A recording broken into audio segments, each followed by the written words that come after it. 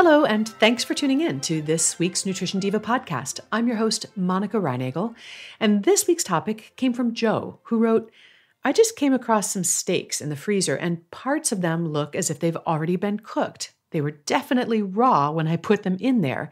Is that what they call freezer burn? And are these steaks still safe to eat? Yep, it sounds like you've got some freezer burned steaks on your hands, Joe. And yes, they are still perfectly safe to eat, assuming, of course, that they were safe when you put them in the freezer and that you haven't had any power outages that might have caused things to thaw.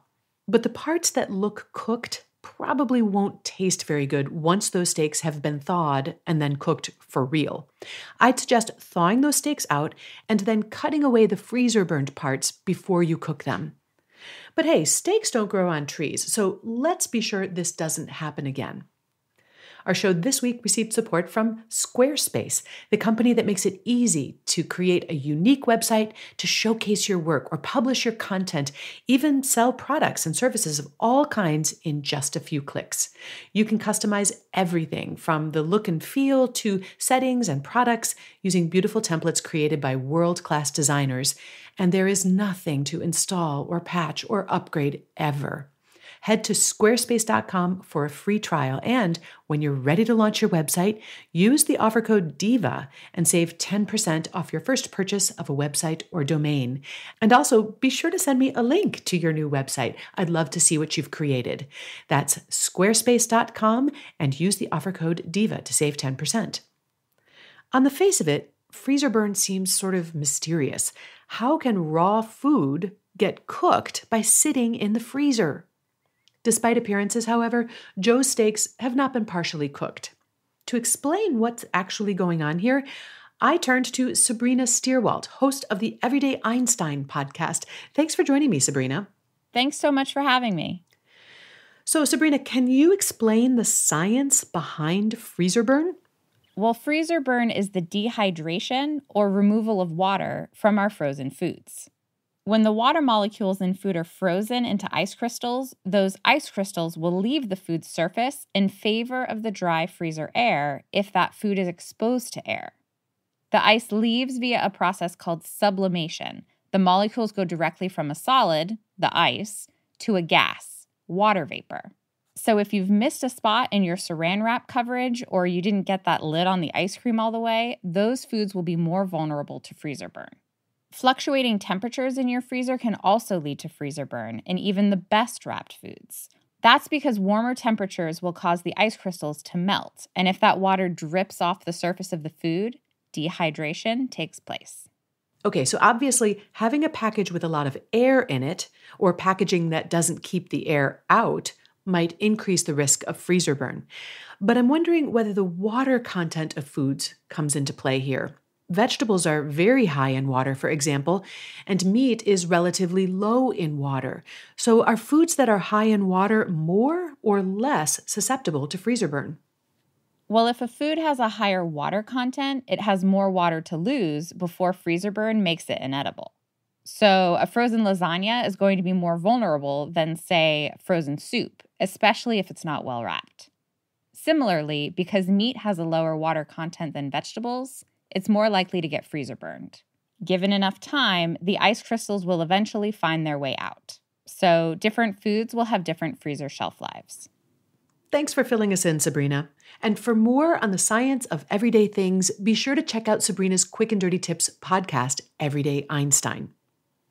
Beachbody On Demand is an online fitness streaming service that gives you unlimited access to a wide variety of highly effective, world class workouts personalized to meet your needs.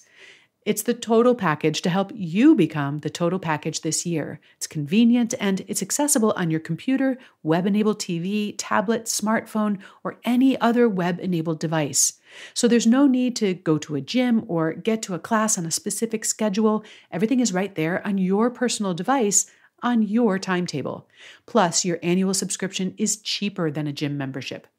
Beachbody On Demand has programs for every fitness level, and their workouts range from cardio to strength training, yoga, low impact, even dance.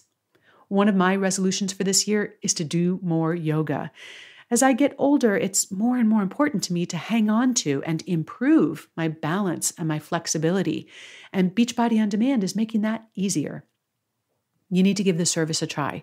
Right now, get a free trial membership by texting DIVA to 303030. You get full access to the entire platform for free, all the workouts and all the information. Just text DIVA to 303030. Now that we understand what causes freezer burn, we can take some steps to prevent it. Number one, you want to wrap foods tightly. By minimizing contact with air, we can also minimize the dehydration that leads to freezer burn.